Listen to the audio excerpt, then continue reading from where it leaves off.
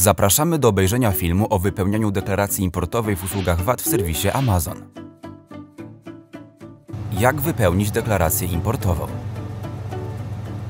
Aby wypełnić pola deklaracji importowej, potrzebna może być faktura celna. Pomoże ona wypełnić niektóre kolumny w dodatkowym raporcie VAT. Otwórz dodatkowy raport VAT i postępuj zgodnie z instrukcjami, aby wypełnić arkusz kalkulacyjny.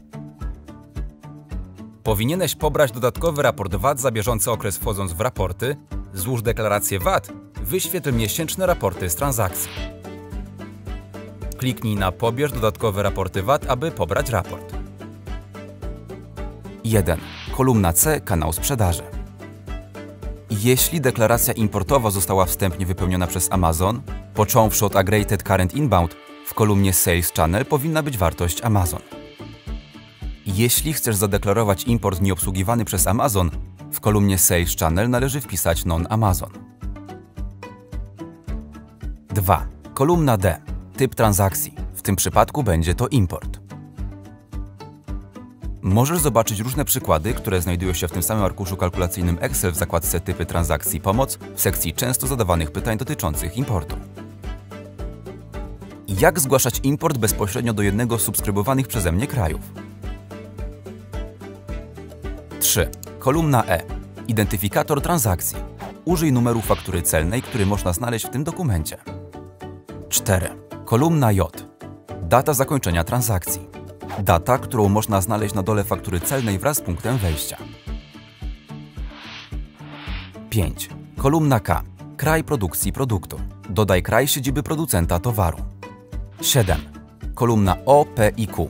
Łączna cena produktów bez VAT, podatek VAT bez kosztu wysyłki i całkowity podatek VAT bez kosztu pakowania na prezent. Dodaj wartość celną towarów. 8. Kolumna R, T i V. Procentowa stawka podatku VAT od ceny towarów, procentowa stawka podatku VAT do kosztu wysyłki i procentowa stawka podatku VAT do pakowania na prezent. Dodaj stawkę podatku VAT od towarów. 9. Kolumna S, U i W. Procentowa stawka podatku VAT od łącznej ceny produktów.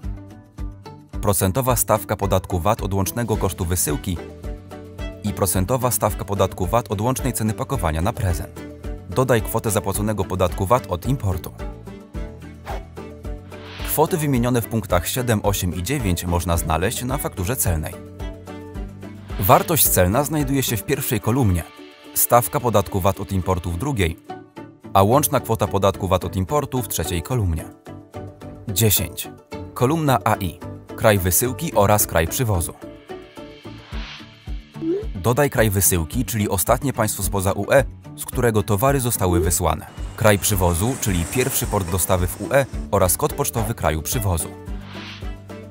11. Dodaj swój numer VAT w kraju importu. Należy użyć numeru VAT, który został zadeklarowany na rachunku celnym i który można znaleźć tutaj. Będzie on wymieniony razem z nazwą Twojej firmy. 12. Kolumna AX. Kraj podlegający opodatkowaniu. Dodaj kraj importu. 13. Kolumna AZ. System przywozu. Istnieją trzy rodzaje systemów przywozu, w ramach których można importować towary. Regularny, odroczony i zwolniony. Możesz go określić tutaj. Wybierz regularny, jeśli płacisz podatek VAT od importu. Wybierz zwolniony, jeśli nie musisz płacić podatku VAT od importu ani od razu, ani w przyszłości. Wybierz odroczony, jeśli musisz zapłacić podatek VAT od importu, ale masz prawo zadeklarować i odzyskać go za pośrednictwem deklaracji VAT, albo potrzebujesz określonej licencji na import w ramach tego systemu. Pamiętaj, że należy wybrać wartość import reżim, która została podana podczas rejestracji lub skontaktować się z agentem podatkowym w celu potwierdzenia nowego systemu przywozu. Na tym kończymy nasz film o dodawaniu deklaracji importowej za pomocą usług VAT w serwisie Amazon. Dziękujemy i życzymy udanej sprzedaży.